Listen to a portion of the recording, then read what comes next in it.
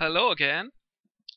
What you can see here right now is a topic started by JP86II, where he shows off his latest, well, I don't know how to call this type of piston elevator. Uh, well, basically it's a very simple construction. Half of the pistons get activated by a constant signal which starts at the bottom and goes to the top the other half of the pistons get activated by those pressure plates on the fence post. Very simple, very fast and very resource efficient. But I thought the idea of, uh, of using pressure plates on fences is too good to just use it for this one design, so I tried myself.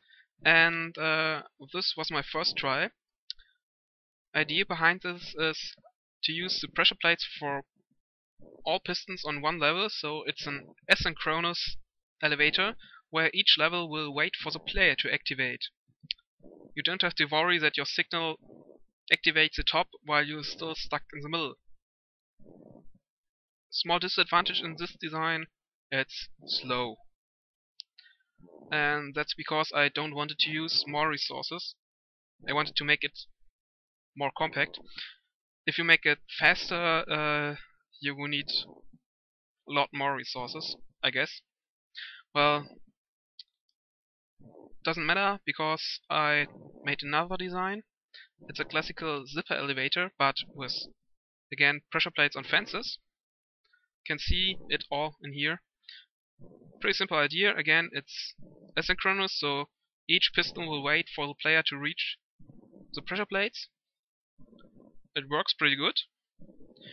Um, I have to use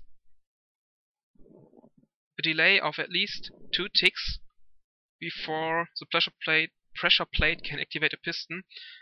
Otherwise, I will get stuck somewhere around the third or fourth level. I don't know why. Maybe because my computer is slow, but maybe it's the problem of the design itself. Please try it out and let me know well, yeah, that's everything I wanted to show you today. Uh, thanks to JP for this awesome idea.